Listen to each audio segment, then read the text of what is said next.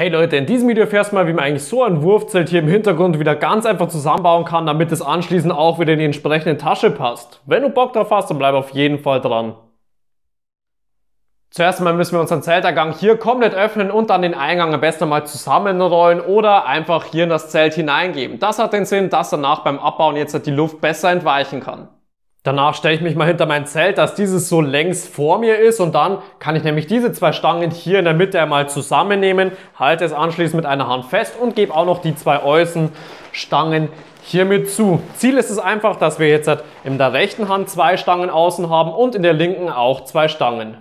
Als nächstes ziehe ich meine rechte Hand mit den Stangen zu meinem Bauchnabel. Dadurch wird das Ganze auch schon so leicht eingeschlagen. Und jetzt kann ich nämlich hier links drüben das Ganze auch noch Richtung meinem Bauchnabel ziehen. Und schon haben wir nämlich jetzt hier einmal einen großen Kreis vor uns, den wir mit beiden Händen schön festhalten können.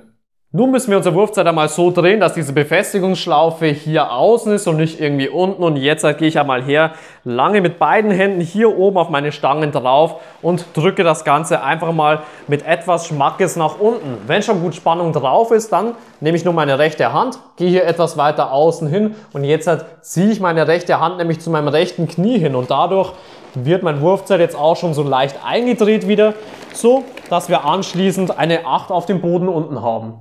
Sobald wir also unsere 8 hier schön vor uns liegen haben, kann ich nämlich noch einen Kreis von der 8 jetzt hernehmen und diesen einfach auf den anderen Kreis rüberdrücken. Natürlich geht das anfangs immer etwas schwerer und strenger, doch dann sind wir eigentlich auch schon so gut wie fertig. Jetzt nehme ich mir das Ganze mal noch zwischen meine Beine und nun kann ich nämlich hier noch schön meine Schlaufe um das Ganze rumgeben.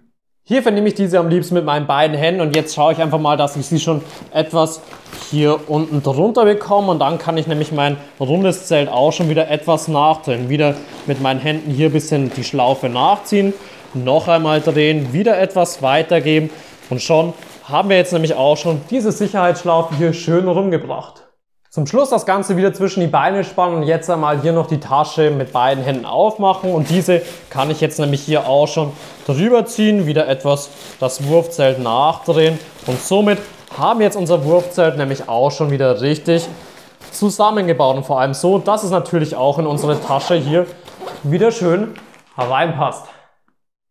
Wenn du jetzt irgendwie so ein Wurfzelt hier zulegen möchtest oder auch Zelthaken bzw. Sandhaken zum Sichern von diesem, dann kann ich dir hier für Amazon empfehlen. Hier hast du nämlich eine sehr hohe Qualität von Markenherstellern zum relativ günstigen Preis und das Beste hierbei, das Ganze wird direkt zu dir nach Hause geliefert und du musst dich extra in Geschäft hierfür fahren.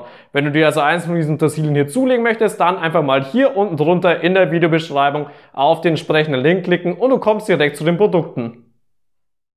Falls dir das Video gefallen und auch weitergeholfen hat, kannst du mir gerne einen Daumen nach oben geben und es einmal unter dem Video in die Kommentare reinschreiben. Außerdem kannst du meinen Kanal noch hier oben kostenlos abonnieren, um kein neues Video mehr zu verpassen.